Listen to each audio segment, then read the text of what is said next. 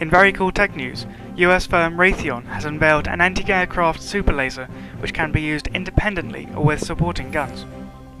A long distance from the 1.21 gigawatts of a lightning bolt, the solid-state fiber laser produces a 50 kilowatt beam and can be fired against aircraft, projectiles and shipping vessels. The laser requires a large amount of energy to function and can now reach the same power levels as a chemically fueled one chemically fueled lasers had previously been used as they could create powerful beams. However, the fuel was frequently toxic, therefore requiring users to wear radiation suits and the waste products themselves being very difficult to dispose of cleanly. This new model consists of glass or ceramic material to create a laser beam, and can be used a lot more safely. The cleaner versions were less powerful until previously, therefore they were deemed unsuitable for military purposes. Peter Felstead of Jane's Defence Weekly commented, That's the very beginnings of what we can expect to see as firms miniaturize their technology and make them more effective. Mike Booen, Raytheon Missile Systems Vice President, added, We've tied this into Phalanx, the US Navy's anti-missile defense system that links a multiple-barreled 20mm Gatling gun to radar guidance mechanism. This system is already installed in many ships, both in the US and other NATO nations, such as the Royal Navy.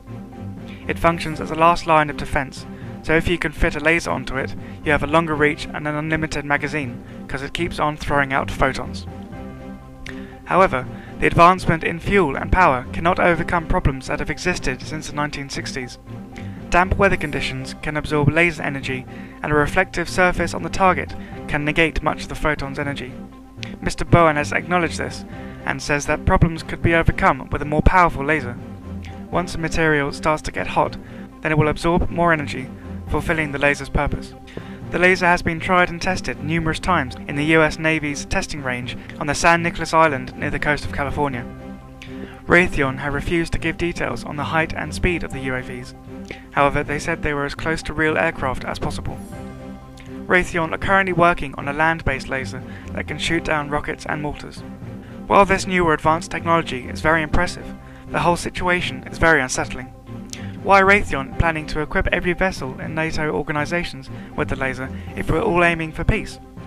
Peter Felstead said that air bases in Afghanistan, the Green Zone in Baghdad, or the border with Gaza and Israel could all potentially use something like this.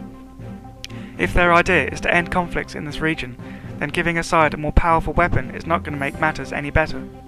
If anything, it will encourage research and development of more advanced missiles and aircraft capable of evading these lasers, perhaps snowballing into who has the better weapon, which as history will tell us has caused huge conflicts. If we're aiming for peace, then are powerful lasers and solar powered reconnaissance planes actually harming our chances? Is this the start of an arms race? Only time will tell.